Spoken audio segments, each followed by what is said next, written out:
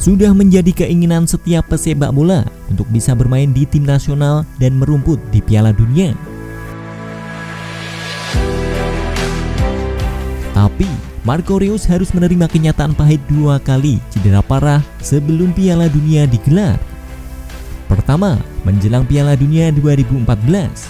Kedua, jelang Piala Dunia 2022.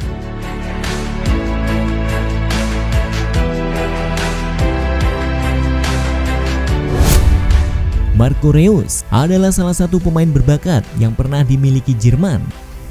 Maskot Borussia Dortmund ini memiliki kualitas yang tidak jauh berbeda dengan Thomas Müller atau Mario Götze.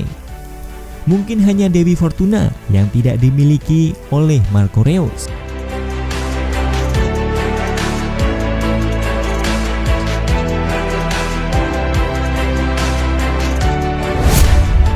Piala Dunia 2014 contohnya itu akan selalu diingat sebagai hal pahit bagi Marco Reus. Padahal tahun itu Jerman sedang berjaya.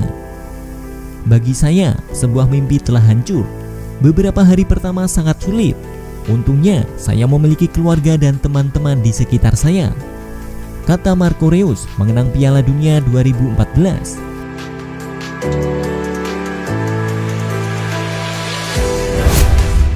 Sialnya, Marco Reus juga absen di Euro 2016 dan Euro 2020.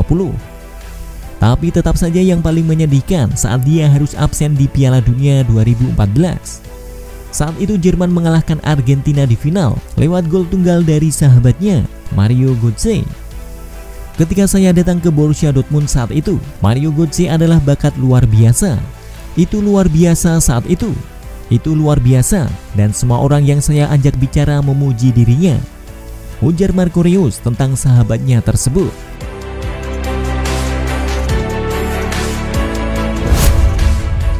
Marco Reus harus absen di putaran final Piala Dunia 8 tahun lalu karena cedera pergelangan kaki. Dan hal tersebut kemungkinan besar terulang kembali di Piala Dunia 2022. Dirinya kesakitan dan ditandu keluar lapangan pada menit ke-60 ketika pertandingan melawan Salke akhir pekan lalu. Itu terjadi hanya dua bulan sebelum Piala Dunia 2022.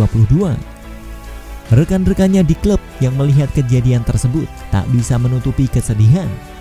Mereka menghibur mantan pahlawan Borussia Mönchengladbach tersebut sambil memegangi tulang keringnya.